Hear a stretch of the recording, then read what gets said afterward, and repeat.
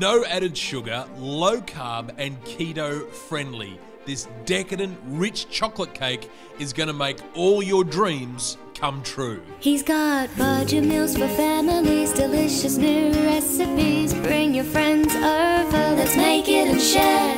It's Nicko's Kitchen where satisfying So, firstly, let's work on the dry mix. Into a bowl, add the almond flour. Next, the sugar substitute. I'm using stevia just because I prefer it, but you can use any other sweetener you wish. Next, I've got some cacao powder. You've seen me use this a lot in my keto recipes. It's much better than regular cocoa and it has a far richer flavour. Next, add in some baking powder and whisk the dry ingredients well. Next, add in the unsalted softened butter, a drizzle of vanilla extract. Next, add in the eggs along with some unsweetened almond milk. Again, you can change up the nut milks as you prefer. Mix well until combined, and you want this looking like any other regular cake batter, thick and creamy.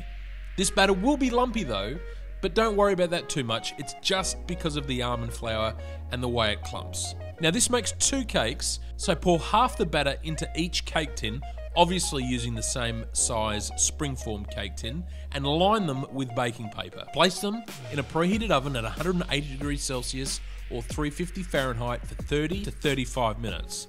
Remove from the oven and leave to cool slightly, and remove from the tins and allow them to cool completely. While we're waiting, let's get on to our frosting. Into a mixing bowl, add the softened cream cheese, softened unsalted butter, and again a sugar substitute, in my case, stevia. Add in some cacao powder, and finally pour in a small amount of full fat, heavy cream. Whip the frosting until it's light and creamy. I'm using a stand mixer, but you can do this by hand, it will just take you a bit longer. To assemble, I place one of my cakes onto the cake stand and dollop some cream cheese frosting on top and spread evenly. For this middle layer, you want it pretty thick, so don't be afraid to add more than what will go on the top or the sides. Now place the second cake on top, push down slightly, and then repeat the same process for the top.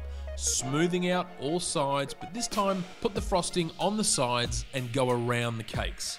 Now, I'm not the world's greatest cake decorator. I'll leave that to Cakes by Chopper or Nick from the Scran line. So it doesn't look perfect, but it's not meant to be either. But get it as smooth as you can using a palette knife. Finally, I'm adding in no added sugar, keto friendly chocolate chips around the rim of the cake. You can buy these online. Yes, they are more expensive, but it's worth it. Next, I melt down some of the same chocolate chips and drizzle it all over the top of the cake. And this gives it another great look and it will fool any chocolate cake connoisseur into thinking it's the real thing. Now slice into the cake and behold in its low carb beauty. It's rich, moist like a mud cake, and the chocolate flavour is so good. Sure, you aren't going to eat the whole thing, but it's a real treat for guests coming over and something to impress your keto low carb buddies with.